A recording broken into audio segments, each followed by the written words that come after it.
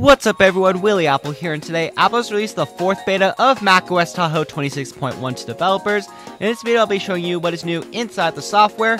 We got something to talk about, let's get started. Alright, for me, on my M4 Mac Mini and M4 MacBook Air it came in at 3.37 gigabytes, and the reason why it comes in this much size is because we got a major feature that a lot of people have been asking for. Personally me, I have not been asking for this feature, I've been asking Apple to do the reverse and make it more buffed. And it is that if you were to go inside of settings and then go to appearance, you now have an option to choose liquid glass. So you could choose clear or tinted. So basically, what this does is that clear is basically what it was inside of the previous beta, and then tinted is what it is going to be if you choose it. So basically this is what it was in I believe beta 3 where all the buttons are just black. So here's a quick example of what Liquid Glass looks like inside of macOS Tahoe the previous beta and what it basically looks like inside of the latest beta. So this is what Liquid Glass looks like with the clear mode. This is what it looks like in tinted mode basically. So basically what all this does is that it just removes the liquid glass basically now, there is still a little bit of a translucency effect if I were to just do an image real quick. So here's a quick example of what liquid glass looks like with the normal version and what it looks like with the tinted version. So basically what the normal version does is that it still has like a translucency effect. If we were to make it smaller, you could definitely see more of the liquid glass effect. On macOS, it's like a little bit more nerfed compared to iOS, but on a tinted version, this is what it would look like. It basically just makes it a black button and then if you were to have light mode, it basically just make this a white button. So let me get the light mode version here real quick. Alright, so here's basically a regular version, dark mode, and light mode. So basically it just removes liquid glass. I mean, there's still a little bit of a morphing effect, as you could just kind of faintly see in here. But this is basically what Tinted does inside of macOS now, and this will just apply it system-wide, just not in this little example app that I made right here.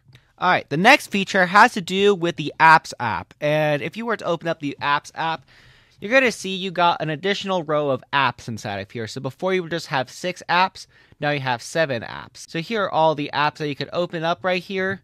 And you can't rearrange anything right now. You can't make your own grouping or anything like that. You can only use the default groups up here, just like inside the app library instead of iOS. Now, we still don't have Launchpad back, but I'm going to tell you some something that could either be good or bad news.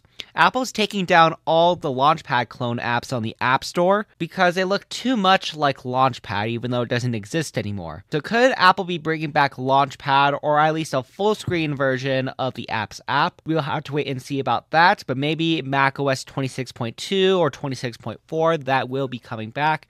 Now, I can't say for sure, but maybe we will get that pretty soon. Now, now in the previous beta, I forgot to go over that you can resize the apps app. It's like very hard to do for some reason. It's almost like you're not supposed to, but if you were to get it exactly like that, you can make it as big as you want or as small as you want going vertically. So this is as big as you can get it. If it were to move the apps app up here, for example, then you have a vertical Launchpad basically. Yeah, so basically this is the best way to get the apps app how you would like it. If you prefer a full screen view like Launchpad was, but that's how you're able. Right here we got our Geekbench score and we can see we got a 3849 on the single core and a 15474 on the multi-core. Comparing it to beta 3, we can see right here that we got a 3790 on the single core and a 15336 on the multi-core. Now this version is definitely a lot lower, but our current highest is actually beta 2. We got a 3819 on the single core compared to 3849, and a 15474 on the multi-core compared to 15474. So multi-core scores tied and our single core is higher than the previous version. This goes to show that our performance here should be a little bit better.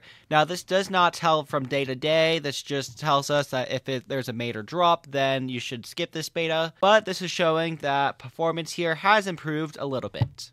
Alright, what is next for Apple? I'm going to pull up my widgets right here. All right, so today is October 20th, 2025, and the next thing that we're probably going to get is the RC version of macOS Tahoe 26.1. And I expect that here on the 27th. And then after that, we're going to get the final release, and I expect that here on November 3rd. Now Apple typically likes their Monday releases and then we'll get the and then we'll get 26.2 on the 4th and that's how everything will go.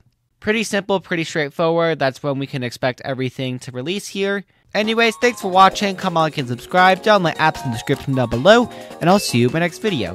Bye!